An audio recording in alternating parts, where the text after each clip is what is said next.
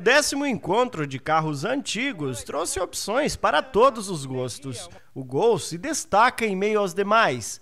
O Luan tem ele há 11 anos. Nesses 11 anos aí, o carro trouxe muita alegria para nós, fizemos várias viagens e curtimos esse, esse hobby do, do, do encontro do carro antigo. Né? Os clássicos esportivos da década de 70 também foram expostos mas também tiveram mais antigos, como esse Vanguard 1951, e os mais novos, como esse Celta ano 2000, com 25 mil quilômetros rodados.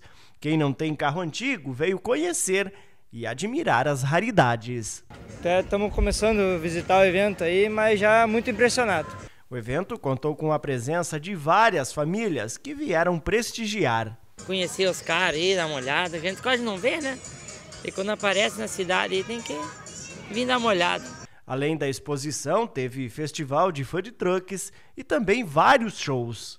A gente recebeu mais de 140 cidades inscritas, então a gente fica muito feliz porque é um movimento que deu certo e que mostra que o antigo mobilismo é um hobby que está em alta e a gente tem que perpetuar essa cultura do antigo mobilismo o encontro desse ano bateu todos os recordes de público e arrecadação de donativos. Para o próximo ano, mais valorização do carro antigo.